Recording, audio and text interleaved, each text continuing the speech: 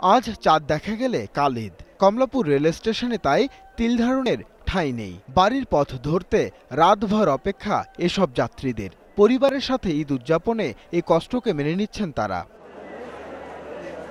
আরামদায়ক যাত্রার কথা থাকলেও গাদাগাদি করে যেতে হচ্ছে অনেককেই। পরিবারের সদস্যদের নিয়ে কেউ কেউ পড়েছেন বিপাকে। রাত তিনটে বাজে আসছি আসি এখন অপেক্ষা ট্রেনের জন্য অপেক্ষা করতেছি। অনেক ভিড় মানে পা রাখার জায়গা নেই। ট্রেনে যারা উঠতে পেরেছেন আসন না পাওয়ার শঙ্কার কথাও জানালেন কেউ কেউ।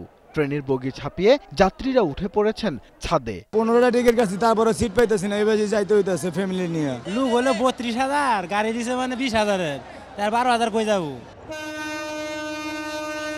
প্রিয়জনের সাথে ঈদ আনন্দ উপভোগের জন্য সদরঘাটে ছিল যাত্রীদের উপচে পড়া ভিড়। স্বস্তিতে গন্তব্যে পৌঁছাতেই অনেকেই বেছে নিয়েছেন এই লঞ্চ যাত্রা। অথচ ধারণ ক্ষমতার বেশি যাত্রী নিয়ে পারাপার করছে এসব লঞ্চ। অনেকেরই জায়গা হয়েছে ডেকে। জন্য আমি কেবিন পাইতেছি না। নারীর টানে নিরে ফিরছে ঘরমুখী মানুষ। সদরঘাট লঞ্চ টার্মিনাল থেকে নিয়মিত বিরতিতে কোনো রকম শিডিউল বিপর্যয় ছাড়াই ছেড়েছে সবকটি লঞ্চ।